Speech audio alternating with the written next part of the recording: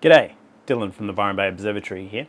Astronomy can be enjoyed by people of any age, but traditionally it's been dominated by a slightly older crowd. In recent years, this dominance has been challenged by the increasing computerization of astronomy and astrophotography, which is hard for the boomers because the boomers have really only just figured out how to use emojis. Not all boomers. We young whippersnappers are dwarves on the backs of giants. The older generation have been pioneers of the equipment we know and love today. But there's been a huge shift lately, not only in the hardware, but the software side of things. Everything from actually capturing the data and controlling the telescope through to processing. Uh, everything is computerized these days and there's been huge leaps. And to be honest, if you're already good with computers, you have a huge starting advantage in this hobby of astronomy and astrophotography today.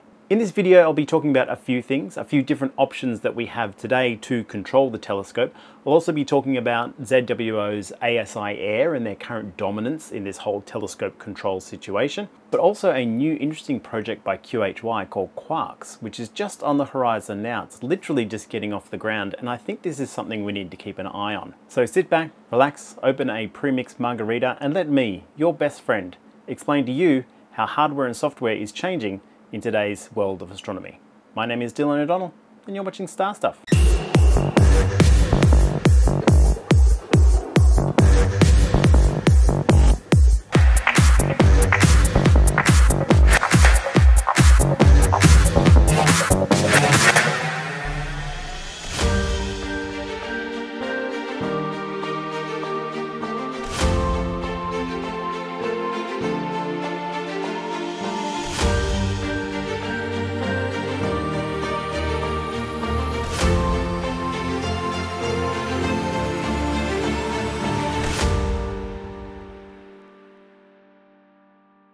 Now, at the ground level, there is no tracking. You can set up on a tripod, just like I took that photo of the moon, and you can see things drift out of frame. If you're using an eyepiece, whatever you're looking at is just drifting off. A step up from that is a kind of motorized mount. It doesn't have to be computerized, but a motor will just keep that RA running. So in theory, the thing you're looking at doesn't drift out of frame. But then you've got all these go-to mounts, right? Which have motor control on both axes, whether it's an equatorial mount or an alt-az, and then you want some sort of software to control it. So at some point you want the computer to do the control for you, which means connecting a computer to your telescope. And these are the main options available to you. These are some of the most popular, not all of them. Uh, I personally use Nina because it's free and it seems to have great community support. There's great plugins being developed for it. It's just working fantastic. So I do preach the gospel of Nina a bit on this channel. But I was using Sequence Generator Pro for a while and that was fantastic and I was very comfortable with that software.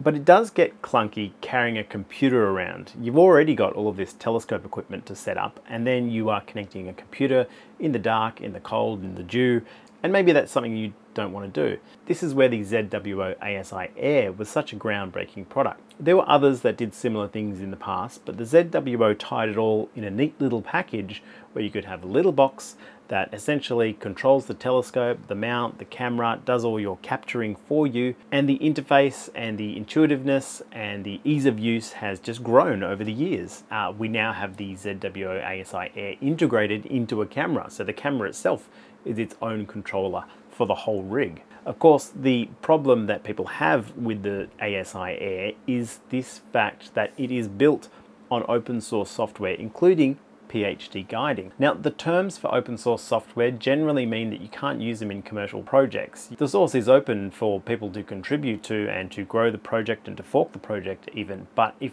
you suddenly close the source, it's a bit of a faux pas. And what ZWO has done is taken the PHD source code and used that in their ASI Air. And the other thing that people don't like about the ASI Air project is that it kind of ties you into ZWO stuff it's not an open ecosystem. It's the ZWO ecosystem. You can only use ZWO cameras. So there are other projects where you can buy a little mini PC or a little box to do all that control and then use other equipment. I did a quick look around and these are the options for you here.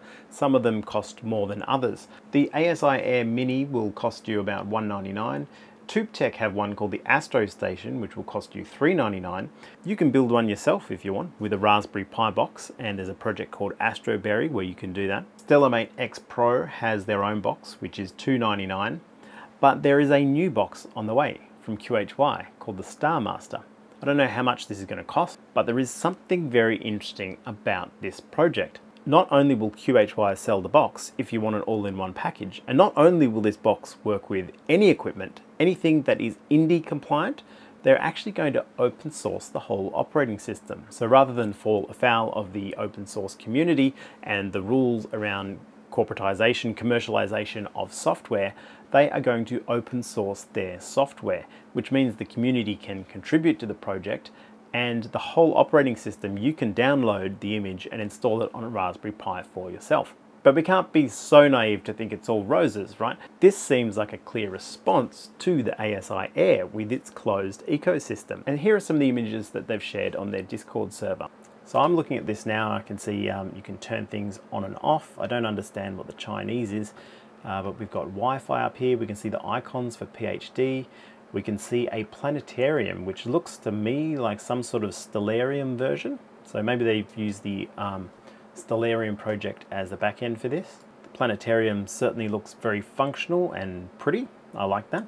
You can see here that PHD guiding is integrated into the view, and this is all running on some sort of a tablet or a phone by the looks of it. Looks pretty clean, the interface looks nice, and this is kind of what we want to see in a mini PC design that the interface is actually easy to use on a mobile device as well. Looks like it has a kind of joystick here, maybe that's for manual telescope slew control. We've got a histogram, so you can see the color balance on color images. This is interesting, it looks like it's a planetarium view that shows the location of the telescope and the rotation of the camera chip, and also a live view of the camera chip as well.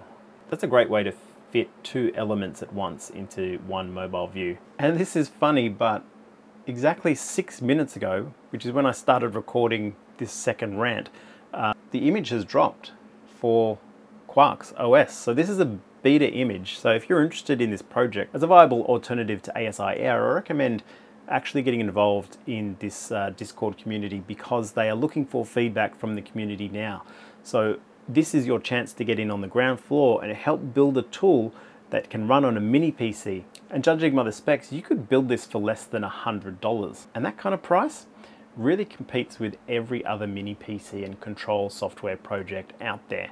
Now, this is all brand new. I don't know if the QUARCS OS is going to be any good. I don't have a lot of use for software like that because everything is computerized in Nina. It's running the whole observatory dome and that sort of thing. But for a portable setup, uh, this is something I am interested in. So I'll probably download the image and run up a Raspberry Pi 4 and see if it's any good. And if you can't be bothered with you know, playing around with Raspberry and stuff like that, you can just buy the StarMaster. This is going to be coming out soon. Once QHY and the community figure out the beta versions of this software and get a viable alternative to ASI Air out there in the market. Anyway, I hope you enjoyed this video and I hope your astrophotography journey is going well. I'll be back with more videos soon, so be sure to subscribe if you feel like it. And uh, remember, everything is meaningless and we're all going to die.